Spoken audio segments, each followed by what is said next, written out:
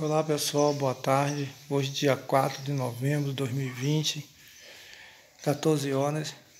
Estou aqui fazendo esse pequeno vídeo, né? Sobre a Tucson né, 2.0, 16 válvula manual, né? Que eu vejo alguns vídeos que o pessoal coloca e eu vejo algumas particularidades assim que eles falam. Também estou colocando aqui agora um também para falar sobre esse carro que todo mundo fala que é um tanque de guerra, realmente muito forte, né? Muito robusto, realmente é. Mas temos que lembrar sempre né, que temos que fazer as manutenções preventivas. Né? Estou com essa aqui há quatro anos, já rodei 59 mil com ela.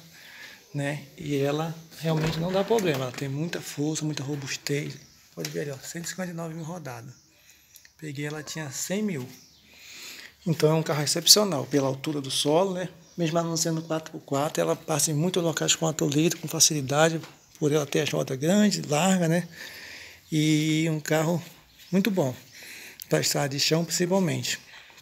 Mas algum detalhe que eu vou falar aqui é sobre tipo algumas coisas que o pessoal estava falando, né? que fala sobre o consumo, né? Antes eu vou falar também sobre o consumo dela rapidamente. Ela não é econômica, mas é um carro excepcional para o tamanho e para o porte dela. Ela, a minha manual, a minha manual, eu ando assim a 110 na estrada, eu consigo fazer 10,5, 11. Né? Viajo muito esse Brasil com ela aí.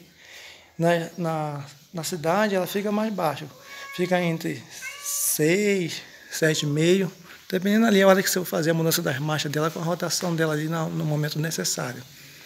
Mas é um carro excepcional, não tenho que reclamar do consumo dela, tendo visto o porte do carro e a robustez do carro. Aqui eu vou falar um pouco sobre isso aqui, né? Que falam que ela em cima de casca fica feio e tal. Realmente é. Essa parte pega mais contato com o sol, né?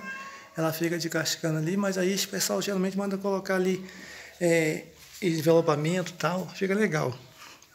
As partes aqui da maçaneta da, dela, ó, eu coloquei essas partes aqui, ó, cromada, né?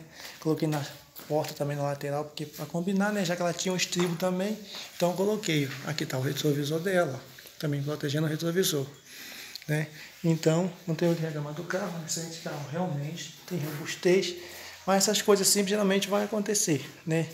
De arranhado, eu ando muito com a minha na estrada de chão, estrada de chácara, então ela fica ali, arranha as laterais dela ali, mas sobre essa altura do solo, é uma altura muito boa, né? Você consegue andar em muitos locais com ela, que outros carros não conseguem, tendo em vista a altura do solo, e com ela você consegue. Aqui, ó, pode ver, coloquei aqui, ó, essas capinhas de acrílico. Ela vende nessas lojas do Mercado Livre, vende em todo local por aí. Mas ela, se não colocar, ela fica. Olha aqui, a parte de dentro aqui da, porta, você pode ver que está aqui, ó. Ela está aparecendo aqui, essa parte aqui arranhada. Então, se fizer um envelopamento, o negócio fica legal, fica bonito. Mas aqui, ó, coloquei aqui, ó, as maçaneiras nas quatro. O jogo completo fica 116 reais, eu comprei até caro, que eu já vi de 78 reais, né? E fica legal. Aqui, ó, do retrovisor, né? Fica bonito e combina aqui com a lateral dela, que também tem o mesmo, tem essa, esse friso aqui cromado. Aqui, esse essa parte aqui embaixo do estribo é legal, é bonito, só que você perde um pouco na altura. Tem que lembrar que ela é bem alta, né? E quando você usa o estribo, esse aqui dá uma diferença de 8 a 9 centímetros a menos né, de altura do solo. Então, se não tiver cuidado, ele vai realmente ter o contato que o solo vai bater, pode amassar. Só que ele é muito duro, é resistente, é bom, muito bom ele. É uma marca boa, né? E ele é resistente. Tem muitos tipos em forma tubular, né? Esse aqui já não é tubular. Mas ele cumpre essa finalidade. E um outro negócio também que eu queria mostrar é o pneu que eu usei, uso nela. Eu vi um, uma pessoa dona de uma falando sobre pneu, eu uso um pneu que eu comprei na época, né? E eu não sabia que ele seria tão bom. Inclusive, quando eu comprei ele, há dois anos atrás, ele foi mais barato que o pneu que eu usava no Siena, que custava do Siena 478 reais, e ele custou 418. Ele é essa marca aqui, ó, vou mostrar para vocês aqui, ó. Tá aqui, ó. Faz uma pesquise por aí. Veja pessoalmente lá em alguma loja que tem esse like, né? Ele é o. A especificação correta, 235-60-16, está aqui, né? Ele é 100H. Alguma outra especificação que vem ali. Mas ele demora a gastar. Como pode ver aqui, é um pneu que não parece que gasta. Até hoje nunca furou nenhum dos quatro, dois anos. Eu rodei bastante mesmo com ela. É um pneu de alta resistência. E vim falando aqui que é radial, é RP18. É alguma especificação que eu não conheço, né? Que alguém possa falar aí. E é ótimo pneu. Uso nela, não teve nenhum problema até agora. Esse é meu gatinho, pessoal, tá ali embaixo, ali, aproveitando aqui a cancha e tá miando ali. E outra coisa que eu ia mostrar também, que é algo que faz muito barulho, é isso aqui, o pessoal reclama, né? Essa tampa aqui do porta-bagageiro dela, da bagagem aqui atrás, que ela fica encaixada aqui, né? Nessa posição, que todos conhecem, que tem tuxo, e ela cobre, né? As bagagens, que é para evitar a pessoa viajando de uma freada brusca, um buraco, alguma coisa que aconteça, essa, essa bagagem que esteja aqui atrás seja arremessada na pessoa lá dentro do carro, nos bancos do carro. Então, quando eu sei que eu não vou carregar nada aí, eu deixo sem. Deixo esse protetor aqui guardado, que é ele que faz barulho. Geralmente ele fica fazendo barulho ali atrás. E eu já não uso, então é silêncio mesmo, não faz barulho nenhum. Aí eu sei que eu vou viajar, eu vou levar algumas coisas aí, eu vou fazer uma compra, colocar algo aqui atrás, eu vou levo e coloco, né? Só para fazer esse transporte. Caso contrário, eu tiro e deixo ele guardado. Carrego sempre aqui água, né? Um recipiente com 5 litros de água, que às vezes ajuda algumas pessoas a estar na rua e com o carro pegado por falta de água. Né? Isso é interessante, mas é verdade. E outro negócio que eu queria mostrar aqui é essa tampa aqui, esse vidro aqui traseiro aqui. Como nós sabemos, né? Que eles abrem esse vidro aqui pequeno. Ele tem as duas aberturas, né? Tem a abertura da tampa do porta-malha e o vidro, né? Que é esse aqui, né? Nós sabemos que ele abre. Mas aí eu estava querendo mostrar o seguinte, que nunca é bom deixar ele descer com toda a força e bater.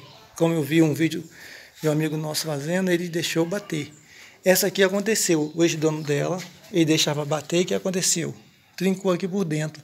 Porque como ele bate, né, e tem aqui esse, esse parafuso aqui de fixação desse, desse, desses braços aqui, então ele bate com força, o que aconteceu? Ó, tá aqui, pode ver que está aqui rachado, ó. Vocês vão conseguir ver aí, mas tem aqui uma rachadurazinha bem aqui assim, ó. Um trincadozinho pequenininho, mas tem, ó. Então, sempre que nós fizer a abertura aqui, nós temos que arriar ele, né? Para ele não bater com força. Isso aí é um detalhe muito importante que eu estava verificando.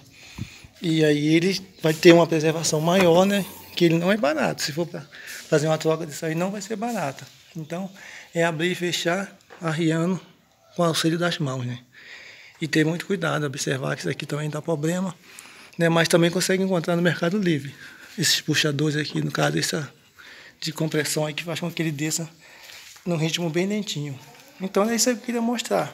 É essa parte aí da, desses protetores aqui que coloca nas maçanetas e também no retrovisor. Que quem anda em estrada de chão, chácara, às vezes o local é um pouco apertado, o ambiente, vai passar aqui galhos, né? A árvore vai arranhar aqui o retrovisor dele. Então é isso aí que eu mostrar para vocês. Realmente é um carro muito robusto, mas nós temos que ter a preocupação com as manutenção preventiva para não ter as corretivas, tá bom, pessoal? Então, é isso que eu queria mostrar no meu canal, né, sobre a robustez do carro, que realmente é comprovada, mas esses cuidados, esses detalhes que nós podemos fazer, que vai fazer com que o carro tenha uma aparência melhor. Mas a minha usa toda a prova. Ando dentro do Brasil todo, vou para a Amazônia, vou para São Paulo, Rio.